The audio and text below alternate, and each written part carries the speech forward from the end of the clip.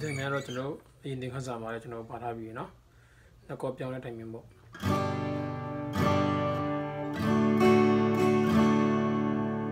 ီမှာစတရားပြပါတယ်